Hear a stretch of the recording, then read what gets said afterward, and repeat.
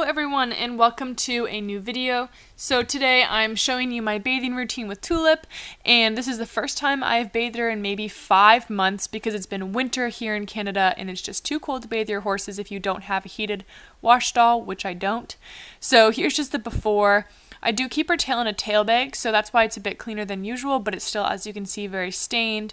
And she also wears a blanket, so everywhere where her blanket covers is still moderately white, and everywhere where the blanket doesn't cover is just completely disgusting. As you can see, stained brown. Like she's clean brushed wise, but it's just so stained It's completely gross. And her mane is in braids because I um, I'm mane training her right now because I want her to have a flat mane ish and it's not really working but hopefully it starts to work soon so the first thing i did is just completely took out all of the elastics and then i'm going to use the mane and tail shampoo and conditioner today but honestly, a lot of the time I just use like dollar store shampoo and conditioner and that works really well too. So I'm just rinsing off her body first, rinsing her off all over, and I'm focusing more on the dirty parts today. It's still a little chilly outside, so I didn't want to do like a full, full bathe and scrub her down and keep her cold for too long. So I'm mostly just going where she really needs it. And I use a jelly scrubber, but I'm sure you could also just use a curry, curry comb and stuff. I prefer the method of just putting the soap right on the horse and scrubbing it in as opposed to the bucket method with like a sponge and stuff because I don't find that works as well. I don't know, maybe you people like it more, but I really prefer just putting it straight on the horse and then scrubbing it in. So then I start on the tail. For the tail, I just put shampoo straight into my hands and then I really try to scrub it through. And I like to leave the soap in the tail for a really long time to let it fully penetrate the horse. If show season ever starts up again, then I might buy myself some of that purple shampoo, but it's very expensive, so I'm not using it right now, but I've heard really good things about purple, sh- purple shampoo for white horses, so I might try it.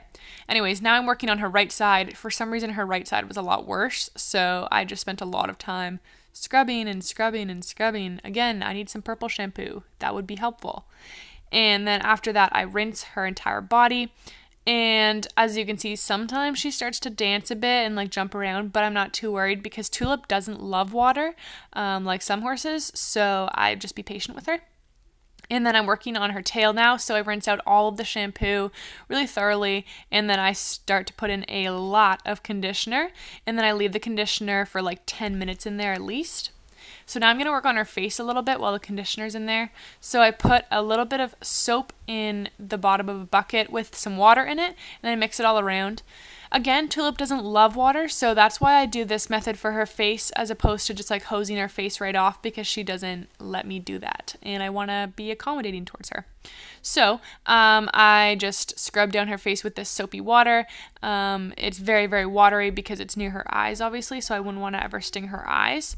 So I just scrub this through really thoroughly, and then after this, I'll just do the same thing but without soap in it to rinse out all off her face. Okay, so I rinsed off her entire body and then I sweat scraped her and then I put her in a stall to dry for a while while I worked my other horse and just let her dry off. So here's her tail, kind of still ratty looking. She's not looking too hot yet. Okay, so then once she's all dry, about an hour later, I use my favorite thing in the entire world, which is Cowboy Magic. You only need a really little bit and it goes a super long way, so that's really nice.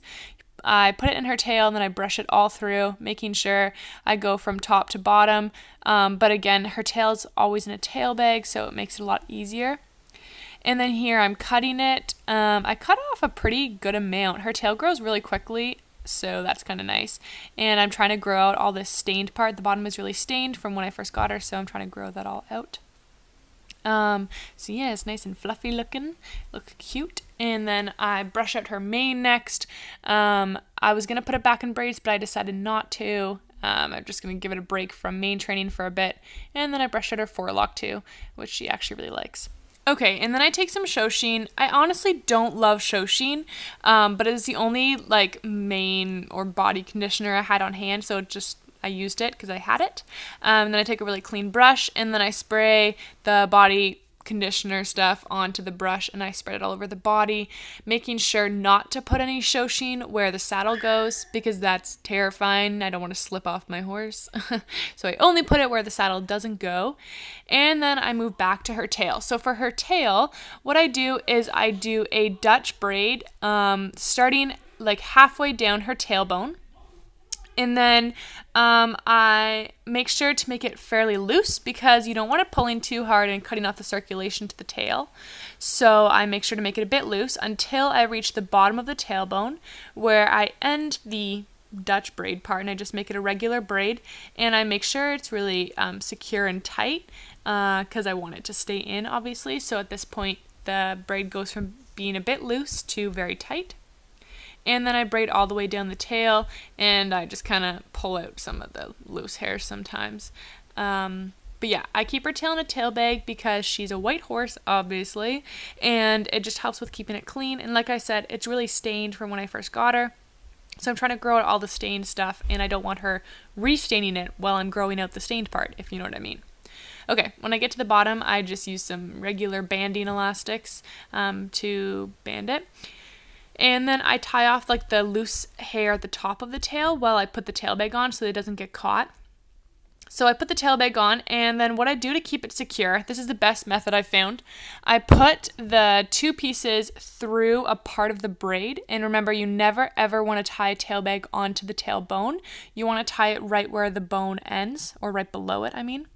So yes, I put those through, and then um, I tied up and then I put an elastic over top and this helps really secure it and make sure it stays in. It's the best method I found. And this is what it looks like when I'm done. And I replace this about every two weeks. Alright, so this is what Tulip looked like when she was done. Obviously she's not fully dry, but I had to go, so I just had to film it here. Um, she looked really nice. I was really happy. Of course, I'm not actually showing her, so that's why it's like not the most thorough um, bathing I've ever done. I just wanted to make her look a bit more presentable because she looked like a wild animal. Alright, thank you guys so much for watching. Make sure to like this video if you enjoyed it and subscribe if you want to see more. Bye!